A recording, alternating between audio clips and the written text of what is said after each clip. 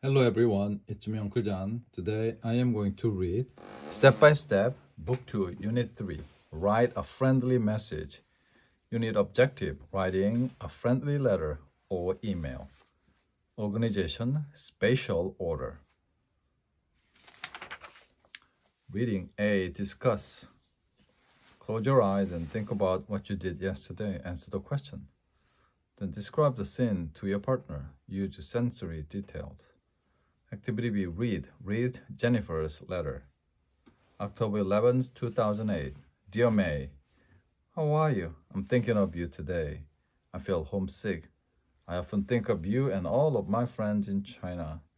I miss everyone. I'm sitting at my desk and looking out the window. It's raining here in New York. Outside, there are many people on the sidewalk. All of them are wearing coats and carrying umbrellas. Everyone is hurrying because it's such a rainy day. I am very happy to be dry now. I was not feeling happy all year.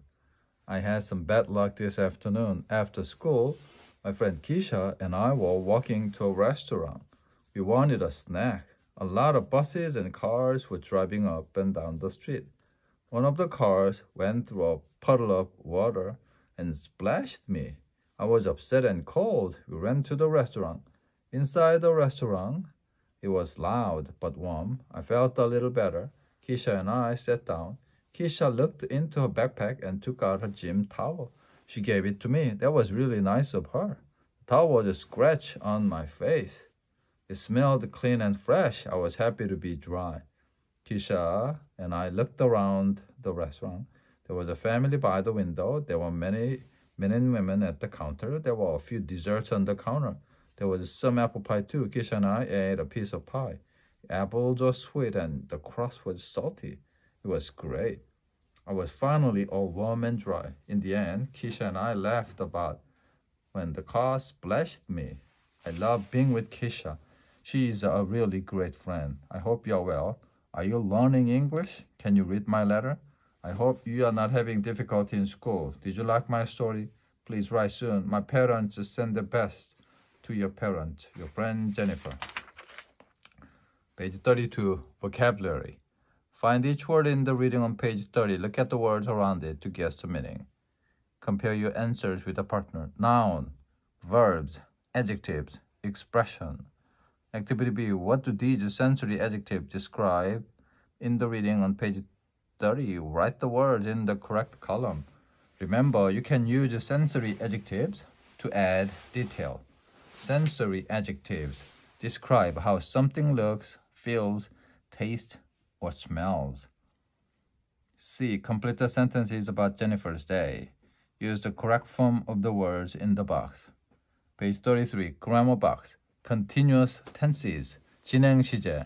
Present continuous tense. Past continuous tense. I'm thinking of you today. Keisha and I were walking to a restaurant. Everyone is hurrying to get to a dry place. Buses and cars were driving up and down the street. Use the present continuous to describe an event that is happening in the present. Use the past continuous to describe an event that started, continued for a while, and ended in the past. Activity A. What was everyone doing yesterday? Change the sentences to the past continuous tense. Statements with the there was, there were. Activity will complete the sentences below.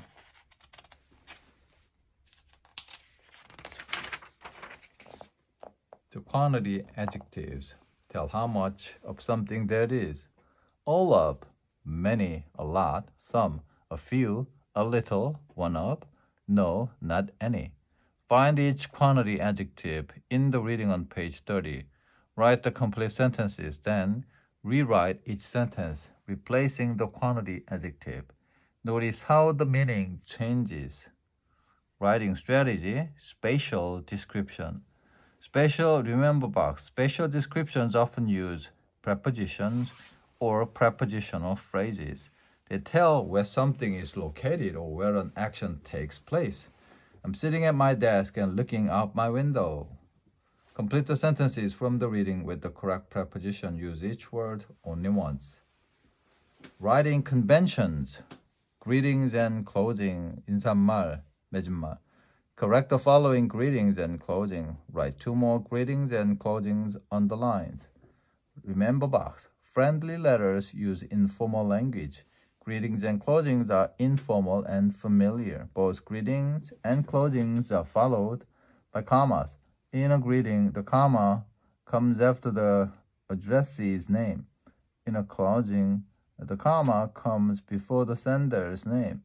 All words in greetings and closings are capitalized. Dear Sarah, hello Sarah, fondly Jesse, your friend Jesse. Remember box, you can use a spatial order to describe a place. Spatial order gives information by location or the way the writer sees places. In the reading on page 30, Jennifer described the, the restaurant the way she, she just seeing it. Page 36. Writing a friendly letter or email. 안부 편지 쓰기. In a friendly letter or email, the author writes an informal message to a friend or family member. The heading gives the date of the letter. The greeting says hello to the receiver. The body